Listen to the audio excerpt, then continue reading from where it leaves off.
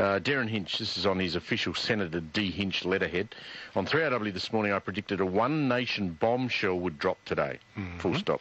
A news tip from a usually reliable source. Since No, when? that's uh, awkward. Uh, usually Yeah. reliable. Since when do senators go out there saying something about a, a rival party from a usually Usually reliable. reliable Not source, always. And, and knowing that it would resonate around the country. Mhm. Uh, I understand the Neil Mitchell program receives similar information, well, from a different source. So he's saying that he Is that and true? Nick, I don't know that don't uh, know. Neil uh, confirmed that. I don't Uh, know about That's that. not what I heard. there were erroneous news reports I was going to raise an issue in the Senate. Well, knowing Derryn's past track record, that wouldn't surprise anybody. Uh, not true. I did confirm to Mitchell that it did not involve any of the four Pauline Hanson One Nation senators. Like this morning, we await developments, DH. I mean, is that the, really the language from a senator? Pauline Hanson joins us online. Thanks for your time. Hello, Steve. What's that all Hello, about? Uh, I have no idea, no idea whatsoever to tell you the honest truth. We actually came here to Parliament, had a meeting, and next thing I'm walking back into my office and I had a media guy sort of at my door, down outside my door, and I said, oh, I said, um, because I, I said I would do an interview with the one and over citizenship. And he said, oh, no. I said, well, what are you here for? And he's trying to say, oh, oh Gonski. Well, I had known that I didn't know this was going on. Then I had to get security guards here because I had this scrum outside my, my office door. And um, so this has been going on, on all day. We've heard these rumours, have no idea. Have you And spoken to bring up Derryn? last Did you ask him what he was going on about? No, you know what? I've got no time for him whatsoever, to tell you the truth. I really haven't any time for him. I think this is, um, I am, I'm angry about it. This is about, he's put out a perception there. Um, he, he's put out a perception. A lot of people will think there is there is something to it. Those people don't follow through and think there's nothing. You haven't heard there is absolutely nothing to it. Nothing's come of it. But that, that perception, and I think it's disgusting that a man in his position as senator to actually do that. I think it's so wrong. I thought So it was I- pretty wrong. It wasn't is may, you know, it was there will be a bombshell drop today. That's that's the words he said. what's there it got to do with him? be. What's it got to do with him anyway? And it involves, uh, he made clear it involved James Ashby. I think that's really uh, a rotten thing to say unless you're absolutely certain that it's going to happen. That's just uh, that's just gossip mongering. Well, it is. And then we had ru- heard rumours that they were actually going, police were going to come here, raid our office, and go through their computers. So anyway, that you know, that's sort of um, on our doorstep. Nothing happened. You know, we're so busy here all day. I just got on and did my duties that I needed to do, and and just waited for something to happen, but nothing happened. So it was really shame. And you don't expect And anything felt- to happen, right? Oh God, no. There's nothing there. James said, I have no idea. The media ring number. He's, and they said, Oh, you're in, being investigated. No, I'm not. Have the police rung you? No, they haven't. And this is was the answers. Uh, but, but Pauline, have you heard what I've heard that there's going to be an absolute bombshell dropped about Derryn Hinch tomorrow? Andrew, stop, it. stop it, misbehaving. Real bombshell. Stop I think this, could- misbehaving. this, this might drive him out of uh, the Senate. Real bombshell. I'm sure It's Pauline's a- heard it it's a too. real it's a real shame. Yeah. You know, this this is not the, this is not not what this place is about. Imagine if you, Yeah, imagine if you, Pauline, had Yep. had gone on radio here with Andrew and I tonight and said what Andrew just said, that there's going to be a major bombshell dropped about the Hinch party tomorrow. They'd rip you apart if it didn't happen. They'd Well- tear you apart, limb from limb. They'd say, "Oh, there she is. She's out gossip mongering." Yeah. Look, um, it is a shame. Like I said, we've got an, an, an important job to do here. People are relying on us, and I think the public are going to see through all this. I don't think he's come out of it very well today at all. And uh, what I can hear, what I've heard is that his office shut down answering the phones because they were inundated with people abusing them. Hey, Pauline, uh, uh, I read that um, somewhere, correct me if I'm wrong, uh, either that I didn't read it or it wasn't well, well reported, but uh, that you were going to give a tick to the the uh, the education package that's got the Catholic schools up in arms. They're furious. Um, are you going to agree to it, are you? Um, I've just finished um, further discussions with uh, Birmingham. Looks like One Nation will support this. We've also, what's happened is more changes have actually happened with this. Uh, Chris Back was anti it because his association with the Catholic churches, uh, Catholic schools, I should say. That's the There Liberal senator. Yep. They're, they're, they're making some changes to this. Now, the funding to the Catholic schools will not be altered this next year at all. It will remain the same. So then they can actually do their assessment of the whole lot. They're, the whole Gonski that I can understand about it is you have states that are very, um, they're not funded properly, right? And that's Western Australia. They are at the bottom of the pile. Queensland, we're not too bad. We're pretty much at the top. What I can understand, what I've gathered from the whole lot, is that Gonski is going to pay, each child is going to be further funded by the tune of about 3.7%. So that's right across the board. Each child, every child, is going to get the same amount of money for funding. And it's about just over $10,000 for primary schools and it's about $13,000 per high school. On top of this, they will pay an extra for a child with a disability whether it be autism or any other disability. And that's paid on top of. Then, on top of that again, you get extra funding if you live in a lower social economic area. Now, yeah, but the, uh, the, the Catholics are saying the Catholics are saying this formula where a school is paid uh, all the schools are paid alike in the same formula. It takes into account the social economic status of the area they're in.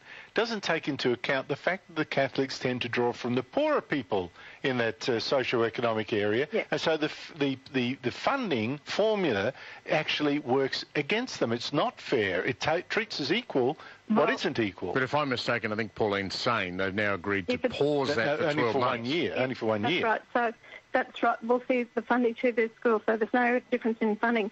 What's going to happen, the changes now, they're going to look at funding an extra $1.6 billion over the next um, four years. That's going to be put into the system, right? So it's going to increase the funding for it um, overall. Now, this here, what they're saying about, there was talk about what area you live in. What they're doing now is they're going to set up a board to actually investigate this the areas that they actually live in, right? So that, that will be addressed. So let's um, get it clear. You, One Nation will tick uh, off on Gonski.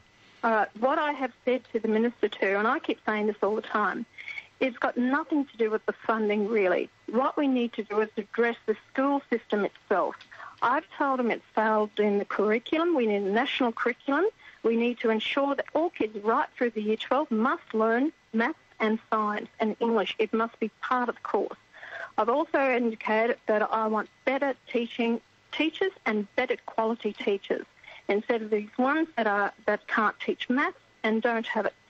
They've assured me that part of this um, um, deal they will actually be putting in recommendations and actually to um, to put it to board because the board will be discussing all this. So what I'm wanting this is what I've said we need to address what's happening in our classrooms for the kids. Throwing money out is not the answer. Okay, we'll keep an eye on all of that. I want to get on to uh, the UN Refugee Convention and, and your mm-hmm. motion in, in, the Parliament. Just before I do, one quick question. Have you, uh, with two days left of, of sitting, Wednesday, Thursday, have you solidified your position at all on the cross-media ownership changes? Um, we're still doing discussions with regards to that um, haven't come to a final decision. I've had talks last night with the uh, minister and again tonight. So um, we are making headway there, and and changes. To, so I think it's going to be beneficial to to everyone. Yes. What happened on refugees in the Senate today? Um, nothing actually happened with it. Uh, it um, it well, it went to the vote. So I think we ended up six against the rest. So you made your point. Well, look, quite a few put up uh, uh, motions, uh, notice motions with regards to the refugees, but we made a point there, and I still believe that we need to actually, you know, not be tied to other countries and UN telling us about how we should deal with our refugees. Mm. I think that we should take control, full control of our borders, and I don't believe that, you know, Steve and Andrew, when I have people that are living, families living in their cars, and they're parking at hospitals purely for the basis of security because they know they can walk in, use the bathrooms, use the toilet, and it's security there. Now, this is what how people in Australia are living. Yes, I feel sorry for refugees and people around the rest of the world, but we have, what, 60 million refugees in total, probably even more. We can't look after everyone. I want to clean up our own backyard first. Yeah, and I guess those people living in their cars are not going to be able to get Slater Gordon to to- go to court on their behalf and sue the government no, and walk away with $37,000 in their pocket, Pauline. They won't. And, you know, I've got a responsibility as a Member of Parliament to the people of Australia first and foremost. I can't be a representative, representative for the world. And that's my, what my job is here. When I can get things cleaned up here and help the people here, then I have an open heart and I'll help whoever I can. But my job is, is, here for the people here in Australia first. Pauline, you must And, have been um, you must have been uh, pretty chuffed at the latest Newspoll this week. I know margins of error and all that, but Hmm. fundamentally you've gone up from nine percent to eleven percent in the vote, and that's after having a pretty uh, rocky last couple of months. Uh, media onslaught, things not handled all that well. You've had robocalls in Queensland with these illegally taped Yep. recordings of you, etc., and you've gone up to 11%. What is that telling you? Well, uh, you know, I haven't had an opportunity to do it yet, but I should go and thank Murray Watt, Senator Murray Watt, and I should thank um, Chisholm, and I should thank Derryn Hinch and uh, Jacqueline Lambie for all this, because every time they, they get on the airwaves and they're trying to their darnest to discredit me and the party, um, my membership comes in more, and I actually have more support. Um, look, I'm looking at the humorous, humorous side of all this. Um, look, I'm you know pleased you can about? still laugh. Yeah, you know what it's all about is that I'm on the floor of Parliament. I'm trying to speak up for the Australian people and on important issues that the majors have just swept under the carpet or it's too hard for them to deal with. We've had so many inroads and we've got so much done that I'm, I'm proud of our achievements. And that's what it's about. And the people have seen through all this and they're seeing what I'm doing, what I'm fighting for. That's where you know, in the polls. They're disregarding all this rubbish. And you can, I can go back 20 years ago. They did exactly the same to me then, 20 years ago with all this rubbish. Even in 2007 with the nude photos. It's been one thing after another. They've tried to discredit me, to drag me down because they know that I'm taking support away from them. Well, And, thank uh, you. And I thank the people for their support. I truly do, from the bottom of my heart. I have fought for 18 years to get back here on the floor of Parliament, and I hope that the people appreciate what I'm trying to do for them. Well, we thank you for talking to us uh, across our 56 stations right around the country. You know you're always welcome. Thanks for your time. Thanks, Steve. Bye. Senator Pauline Hanson there. You're right to make that point about the polls, Andrew. I mean, they are going in the other isn't it? direction to everyone else's. Uh, yes, absolutely right. Eleven percent is not bad, and uh, that that will guarantee that One Nation is a force in uh, the Senate for, uh, it, provided they maintain it, of course. That that will be a force for a long time. to